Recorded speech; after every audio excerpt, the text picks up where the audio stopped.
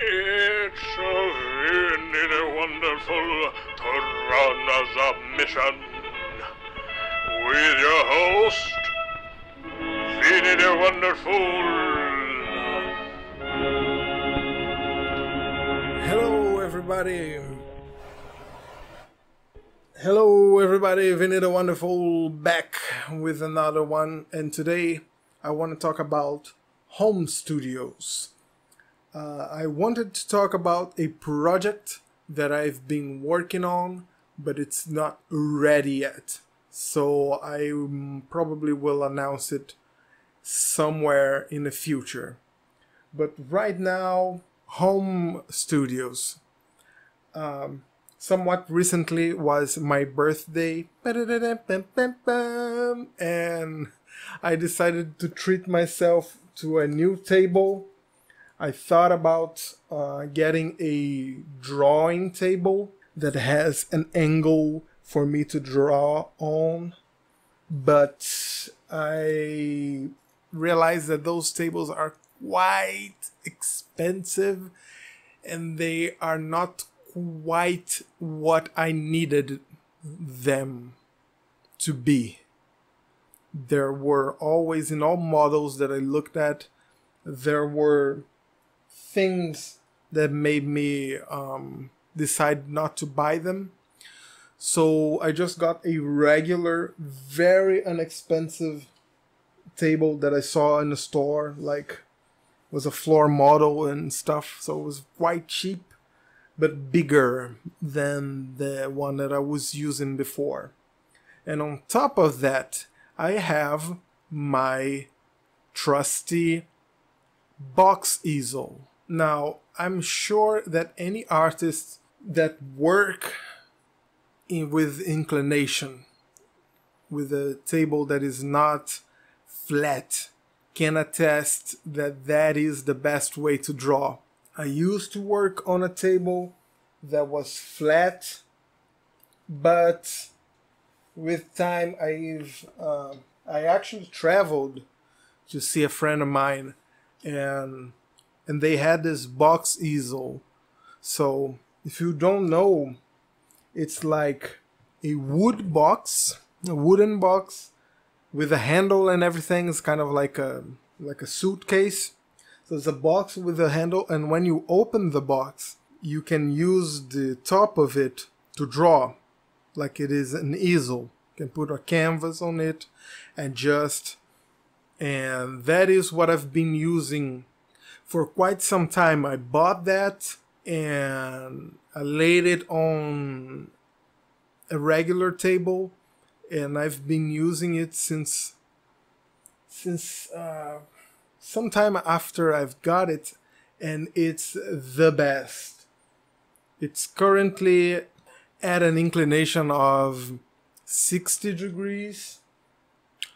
So zero would be like flat, a regular table, and then 30 degrees use what some uh, writing tables, like some old school, uh, literally from schools, uh, writing tables would be when they have like a little bit of, of an inclination.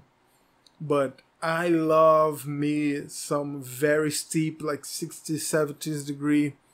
Unfortunately, my easel box only goes as far as 60 and it's right up my face and I don't have to slouch and contort my spine to look over my drawings and I get a very nice view of it. So I could not recommend this more if you've never tried. If you spend hours drawing, you should get that for your posture.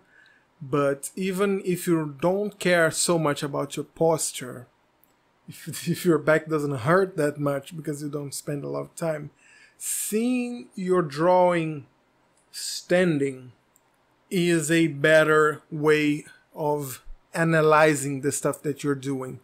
When it's on a table, especially if it is a bigger uh, board or piece of paper or whatever, there is a little bit of distortion So, you know, I'm not going to go into that detail so much in this episode about stuff that is better for art production, but you should try getting an easel or a table easel or a box easel.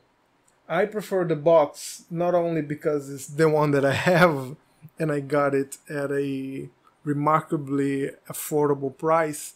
I feel like the box is sturdy and because it's long it I can place it against the wall and it's very much uh, once I put the the weight of my hand on top of it it doesn't move it doesn't samba it doesn't go back and forth as I raise and stuff.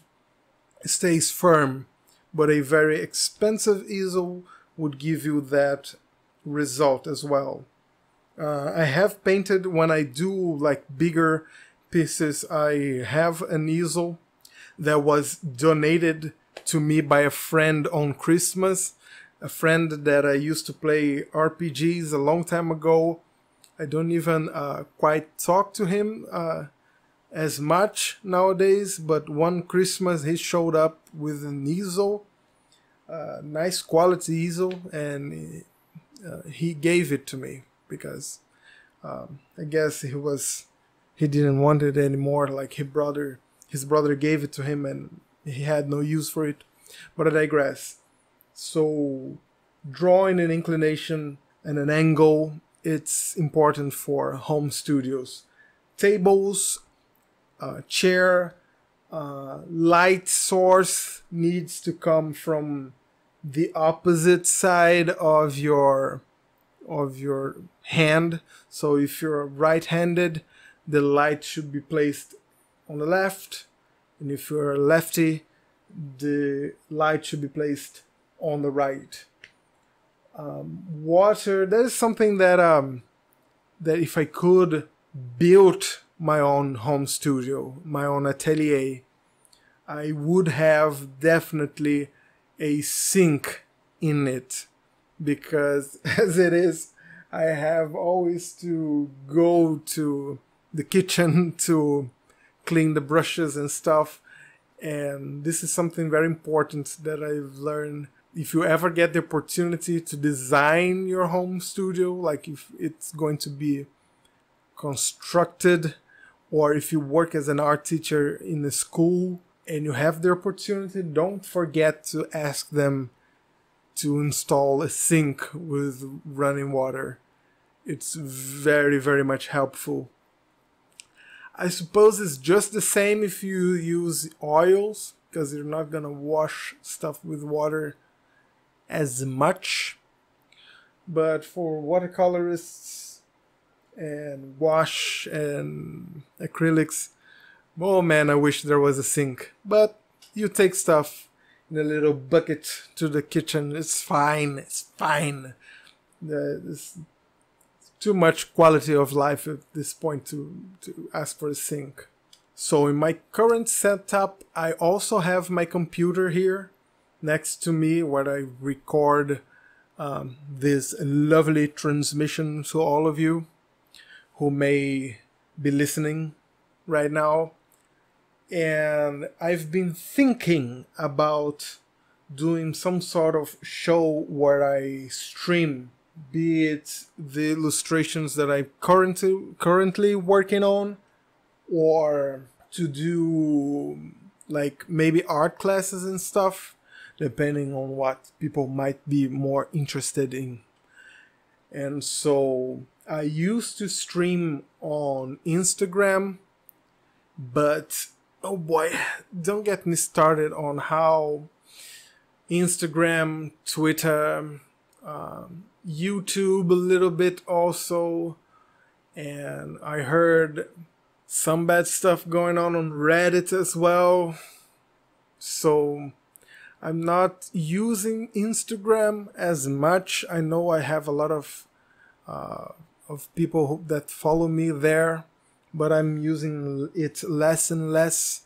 So I'm on the lookout for the next like thing that is accommodating for the creator, for the artist, but it's also accommodating for the the people who want to follow the artist, right? So if you know of something of like a platform that you like that is good for you to engage on, send me an email at heyviny at hotmail.com. Uh, H E Y V I N Y at hotmail.com. Um, I think Twitch, people talk a lot of good things about it. Um, some people also talk good things about Discord. I'm quite unfamiliar with both of them, but I shall give it a try if it's um, interesting for for all of you. But that is a huge digression on our topic of home studios. Because I guess in general, I'm mostly talking about my own home studio, and this is perhaps a topic that would benefit more from video format, where I can show like my brushes, how I store them, uh, the little interesting tools that I've adapted, that I've created, that I've bought There aren't quite um, art tools, but I use them as such. A uh, little collection of of action figures and stuff that I use for reference. Like that is all the joyous um, stuff about being an artist and having a home studio. Now, concerning the tables that I've pondered about getting. My issue with them is that they seem quite cheap for what they're offering. I'm talking about those tables. You can see them online. They have like a glass top and they have an inclination with an articulated uh, brass arm and the storage unit is like made out of of fabric or whatever. It seems I don't know. It seemed quite cheaply for the price that they are asking in the region that I live in. Um, but I wouldn't completely be against them if if they were if you have access to them buying one that is used maybe there's a little bit cheaper uh, everything that you can put your work on an inclination. Also, if you're doing digital work, the game changes a little bit. Uh, all that I said about lighting uh, is not as much relevant because sometimes the drawing tablet or the monitor is emitting light, so you don't have to light it. But I've seen artists that go from traditional media to digital and they what they do is they put their um, digital tablets on an easel and that is the move right there. That, that you know with that you know that the artist has some background in traditional art. As it is i am quite happy with the setup that i have right now I will keep on improving it. Every now and again, I do some some improvements, or I just change stuff up. So, you know, you gotta like move yourself a little bit out of your comfort zone. Uh, I'm I am a little bit of a studio guy. I'm not the plein air type of artist. I haven't I haven't got much experience in plein air painting, although I have done that, and it is fun and challenging and an excellent exercise for for drawing. But that's perhaps topic for another episode of Viny deWonderful Transmissions. So, as it is, uh, please check vinydewonderful.blogspot.com I probably will be posting some previews, some introductions about the project that I'm working on. It has to do with halflings, but not really, but That's all for now, folks. Love you very much. Goodbye.